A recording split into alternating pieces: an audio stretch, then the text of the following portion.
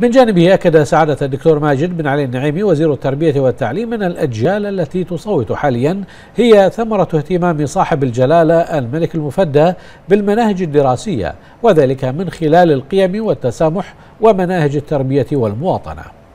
نأتي ننظر الأجيال التي تصوت اليوم. هي الأجيال التي اهتم سيدي حضرة صاحب الجلالة الملك المفدى بها من خلال تعزيز مناهجنا الدراسية. بقيم التسامح والمحبة والأخاء في إطار من الأسرة البحرينية المشتركة.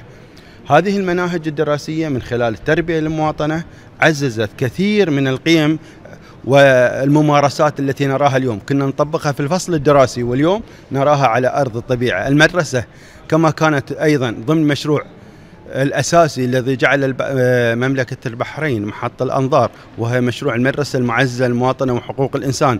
اليوم هذه المدرسة تمارس العملية الديمقراطية على الطبيعة من خلال هذه وجودها كمركز أيضا آه، يتم من خلاله الترشيح.